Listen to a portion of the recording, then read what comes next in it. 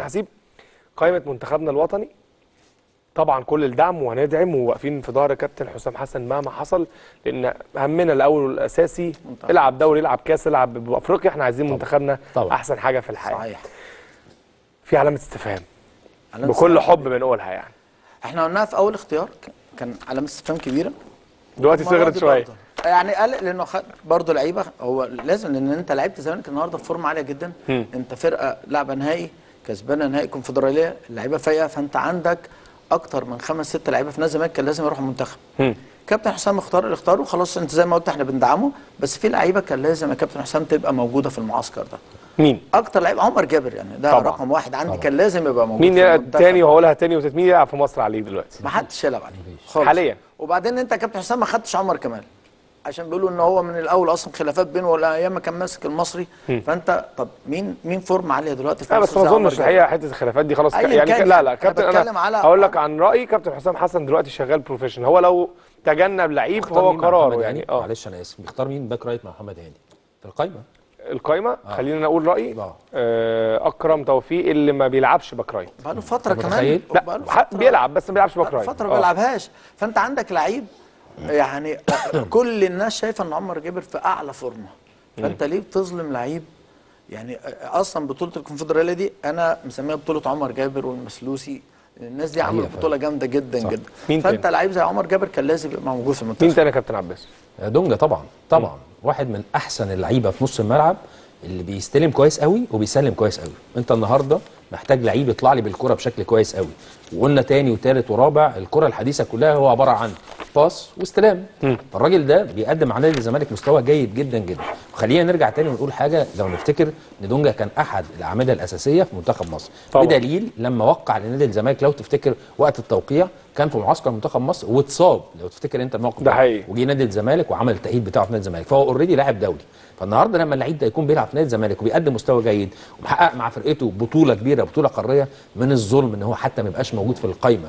مش هتلعبه أساسي بس على الأقل يبقى موجود في قائمة تفرق معاه طبعا. ايا كان يتمرن و... طبعا. طيب تيجوا ندخل الخناقة بدري يلا بينا. لا خلاص لا خلاص ندخل الخناقة.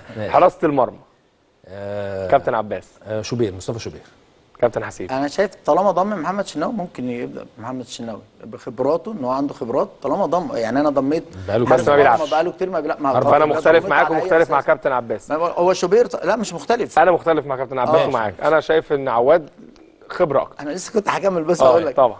آه، طالما ضميت شناوي أنت بتضمه على أساس خبراته. لو ما بدأتش بيه طب طب أنت ضميته على أي أساس؟ يبقى أنا عندي عواد هو ليه. credit؟ يعني ليه. رصيد عند آه، آه. المنتخب خبرات عواد الوطني؟ آه. خبراته عواد أكتر؟ آه أكتر من شوبير. تمام؟ فالراجل هو اللي يبدأ. ماشي. back left كابتن حسيب.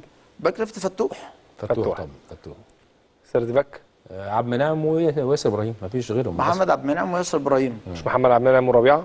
لا ياسر إبراهيم لأن أنا وجهة نظري ياسر إبراهيم فنياته أعلى شوية من ربيعة آه، ربيعة بيعتمد على القوة. ربيعة آه، آه، لعيب قوي أكتر منه لعيب كورته على الأرض أحسن. فأنا بشوف إن لا أنا يبقى عندي profile مختلف. ما ينفعش الاثنين يبقوا يعتمدوا على القوة. عبد المنعم لعيب قوي بس برضه ما بيقدرش يخرج على الكرة بيخرج بالكرة بشكل كويس. لكن ياسر إبراهيم يمكن كورته شوية على الأرض كويس. بس. هو ربيعه برضو عامل فورمة فممكن ي- أنا شايف ربيعه عشان. في الملعب شوية. آه رجلي في الملعب أكتر من ياسر فممكن يدي, يعني. يدي الربيعه مع محمد عبد المنعم. ومحمد هاني back right back right مفيش للأسف هو محمد هاني بس مفيش حد. الخناقة اللي في خط الوسط بقى. كابتن عباس. أنا الثلاثي اللي في خط النص آه، حمدي فتحي إمام وقدامهم رقم 10 ناصر ماهر. لازم مهم جدا. لو أنا بقى هنتكلم أنا هحط ناصر ماهر وبعد كده أحط تشكيل منتخب مصر. حقيقة آه، بيقدم مستوى جيد جدا. quality مختلف خالص.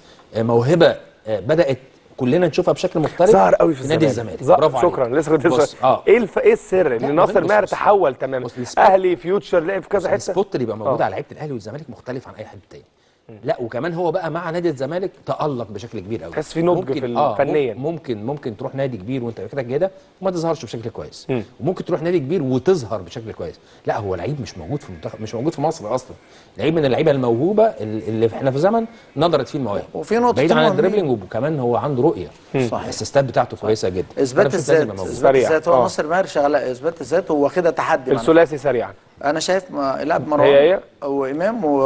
وناصر ماهر تمام مروان انت قلت أنا قلت إمام. حمدي فتحي وإمام يعني هي مروان. وحمدي. طيب. آه. مروان رجليه قدام ثلاثة. ال striker ما هو خلاص هي اسطمبة يعني. هي ال block كله مصطفى محمد على شماله تريزيجيه وعلى يمينه محمد صلاح. طيب. تغيير- تغييراتكم؟ يبقى زيزو تبديله آه. ممكن أنا يعني برضو برضو وجهة نظر كابتن حسام حسن دي وجهات نظر فنية.